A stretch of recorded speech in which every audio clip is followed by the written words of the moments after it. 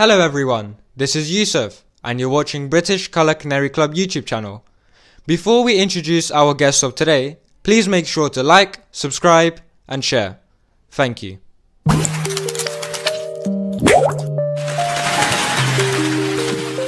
Please introduce yourself to the viewers. My name is Andy Constantine and I keep color varieties of canaries. And how long have you been keeping the birds? I have been keeping color varieties for 46 years now. So, what made you look after birds and start the hobby?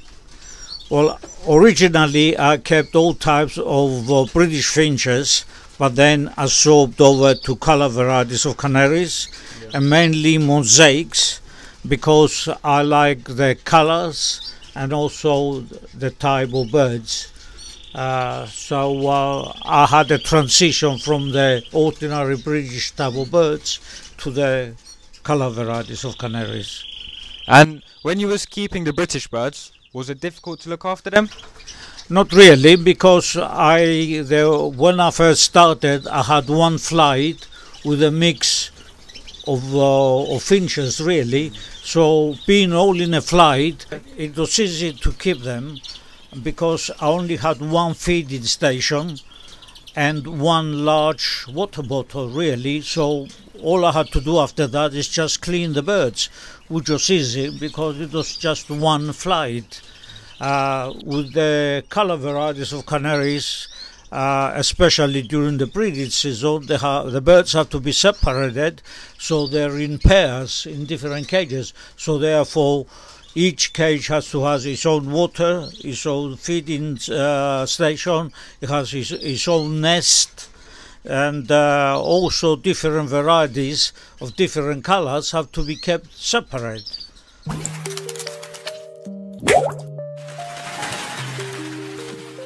And which topic would you like to talk about to the viewers?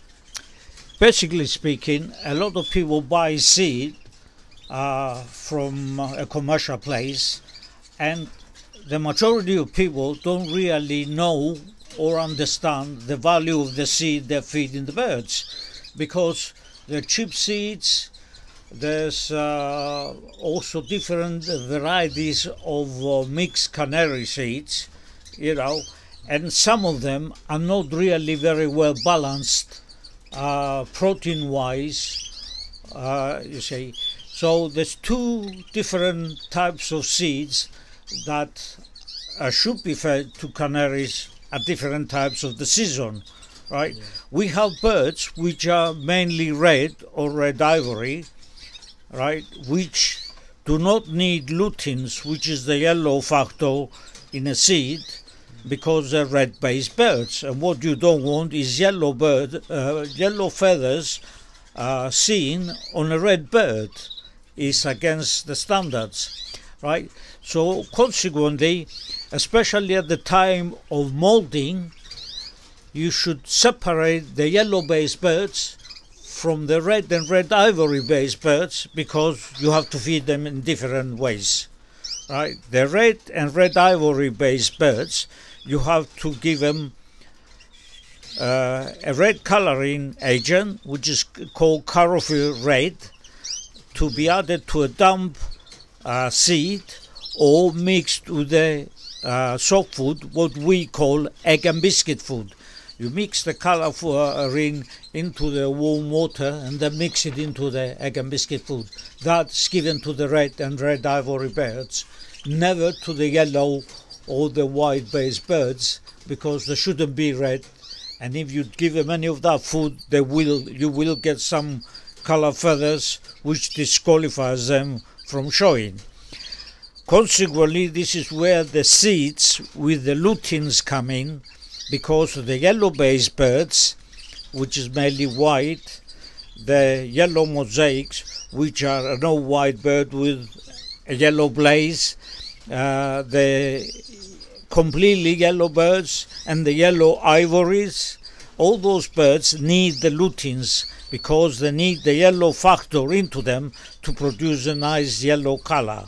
And when I say yellow, it's, it's a citron yellow, not a marigold type of yellow, because that would be wrong. So what we're looking is a bird with a citron yellow color, a ni- nice bright color.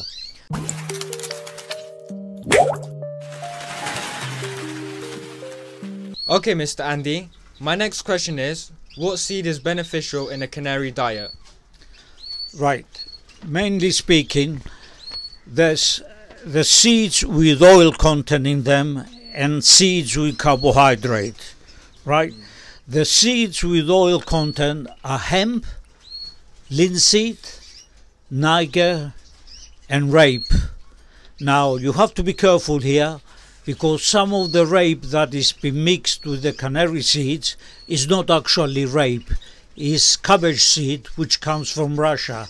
Now it looks like rape, it tastes bitter like rape, but it's not actually rape, so it's of very low value, right? The best rape that should be in a mix really is what some people call the German Rubsen rape, right? It's a different color and is less bitter, but it also contains more oil, right? It is important to have the oily seeds in a mix. So out of the four types of seeds that contain oil, which is the rape, the linseed, the hemp, and the niger, out of those four seeds, at least two of those should be present in any type of canary mix you buy from the shop. Right? Then we go to the other question is about the power uh, in the rest of the seeds, uh, which is got the fat content in it, but also what is important, which is the carbohydrates. It's like us eating bread and pasta and stuff like that. It put extra energy, right? The um, the seeds that have the the, uh, the maximum carbohydrate are the canary seed, the plain canary seed, all types of canary seed, because there's quite a few varieties, and uh, the pinhead oatmeal or any type of oats. Now, the canary seed is got a value with about 50%, half of it is carbohydrate, is very high, which is good. That's why the canary seed in any mix is about any canary seed you buy is, is about 70% plain canary, right? Then we have um, uh, the other seed which is uh, very high in carbohydrate is oats. But the best one is the pinhead oats which is chopped oats. And that one is 33 to 35 percent carbohydrate. That is very important. And then you get a variety of uh, different bits and pieces added to the uh, seed right? So ideally speaking if you ask me if I had a choice, what I would choose best is I would choose the, the canary seed, the canary mix, which has got everything in it, because every single seed we have on the market is got some value of others, right? So usually what you will find in a canary mix, you find the majority of the mix is plain canary, some pinhead, a little bit of hemp, usually only about 5% because it's an expensive seed, and about 3 to 5% Niger seed. Again, they don't put too much of that because it's an expensive seed. And then you get uh, a, a variety of other different types of wild oats in there. And linseed, and again, linseed, it varies between 5 to 15% of the mix. So really, there, any any canary mix you buy, if it's got those seeds in it, in the right percentages, that's what you want really, uh, because there you've got the carbohydrates which you need, and you've got the oily seeds in there which the bird needs, especially at the time when they're molting, because when they're molting you need the oily seeds because it makes the feathers brighter and because of the oil content right? And also it's got the vitamins in it and some of the oily seeds is got they've got a lot of fat in it which is what you need now certain times of the year especially after christmas people should condition the birds, start conditioning the birds ready for breeding for the next season. Because you've got the end of December and January and February. Now, some people only give the right foods to the birds when the chicks arrive. That's a lot of nonsense because the birds are not fit enough to breed if you don't give them enough stuff. You should start straight after Christmas with the best seeds and you should also give uh, the soft food, the egg and biscuit food. You should start after Christmas. You give them a bit of that once a week, then slowly increase it to twice a week, three times a week, and before before they start laying eggs, you should give it to them at least four out of seven days a week. You should give the soft food mixed with all the bits and pieces in it, uh, because that's the time when you want the birds feed enough. Because if they're not feed enough with the right food, they will not breed. And then you'll be complaining, oh, the birds deserted the chicks, oh, they didn't feed you, oh, they had clear eggs. But that's what happens if you don't feed well. So don't forget, Conditioning the birds is a time of the year when you should give the best foods to the birds, not when the chicks arrive only.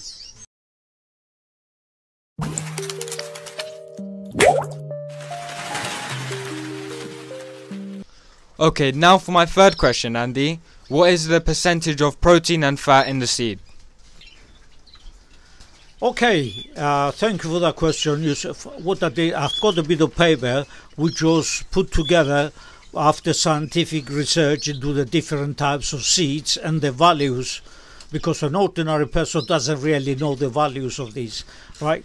So it is important because, for example, canary seed, what sort of fat content it is? It's got 5.5 percentage of fat, but is 50 to 52 percent of carbohydrate, which is very important.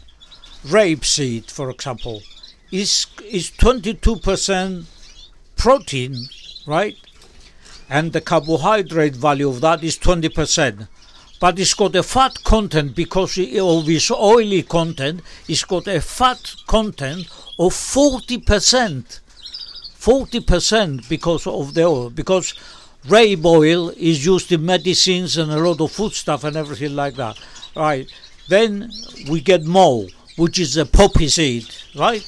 It's only it's 18% carbohydrate, but it's got a fat content of 45%, which is very very important. Millet, it's only got 4% fat, but it's 57% carbohydrate. Uh, all these uh, figures, Niger, is protein 21%, which is pretty high really, but it's also got a content of 22% uh, of carbohydrate, but it's got a fat content of 40%. Now, seeds like these you cannot ignore.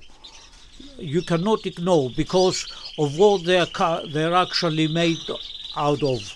You know, the oil content in a seed is very, very important right? Then we get down to, for example, egg, right? So you how boil an egg, right? You take the yolk of the egg. The white of the egg is really not important at all. It's only got a fat content only uh, point quarter of a percent, which is nothing. But the egg yolk is got a fat content of 33 percent so an egg yolk is very, very important. Is very important because 33% of fat is, is really, especially when in, at the time when the birds are breeding or they're molting and they're changing their feathers, they need energy. That egg yolk is really important. Okay, now then we get things like apple, for example an apple uh, is uh, is fruit really, and uh, it's 83% water. Apple is 83 percent water. Most of the greens are 95 to 96 percent water, but apple it has no fat whatsoever. So therefore, again, apple is a very important thing to give to birds. Now, there's a lot of other things on this list which we're gonna put on the on this program for you to have a proper look at it, and uh, you can see for yourselves and even copy these really to find out the values of your seed. So next time you go to a pet shop and buy a bag of seed, you need to ask the questions, or if you know of a bag of seed which is a good canary mix, then you carry on using that particular seed and don't go for the cheaper options because you pay a little bit of money, that's all you're gonna get, a little bit of seed, nothing important. So anyhow, I would like to thank you all very much for listening to us. If there's any questions you have, you can always uh, have a chat with us or get in touch. Thank you Andy for participating in this series. It was a pleasure having you. I hope you enjoyed this video and stay tuned for the next one because we've got another special guest that's coming. So don't forget to like, subscribe and share.